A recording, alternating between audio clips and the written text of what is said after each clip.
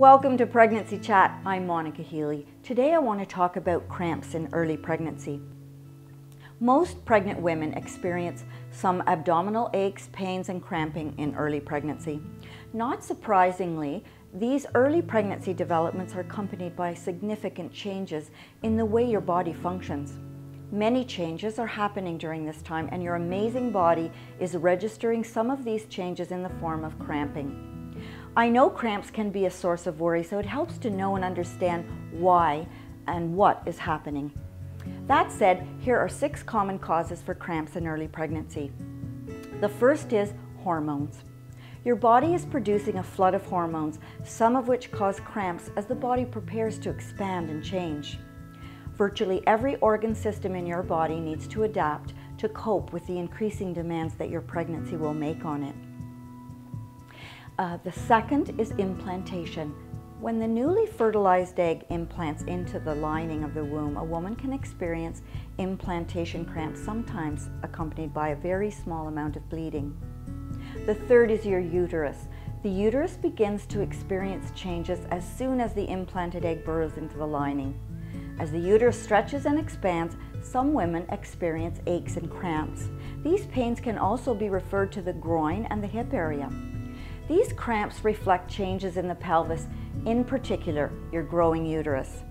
It can be perfectly normal to experience menstrual type cramps in early pregnancy because this growth occurs where the ligaments and muscles attach and support your womb to the internal abdominal wall. One ligament especially called the round ligament and results in, in cramps. Gas and constipation. Elevated levels of the hormone relaxin causes the body's muscles to relax, including those that make up the digestive system, which slows down during pregnancy. This can result in excess gas and constipation, which produces a wide range of pains and pressures, bloating, and sometimes cramping. Ectopic pregnancy. Cramping and pain may occur on either side of the pelvis and be accompanied by nausea, spotting, and dizziness. An ectopic pregnancy is a medical emergency and you need to see a doctor right away. The sixth is the corpus luteum cyst. This is the cyst of pregnancy and it is from this structure that your egg was released and then subsequently fertilized.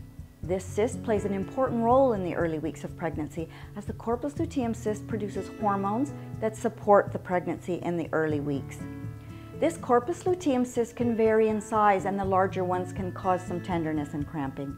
The presence of this cyst is usually assessed during your, er, your first ultrasound scan and it usually just resolves on its own. Women in early pregnancy will experience quite a few strange and even uncomfortable sensations, twinges and cramping. Each pregnancy can be quite different, so consider these bumps along the road of an amazing journey.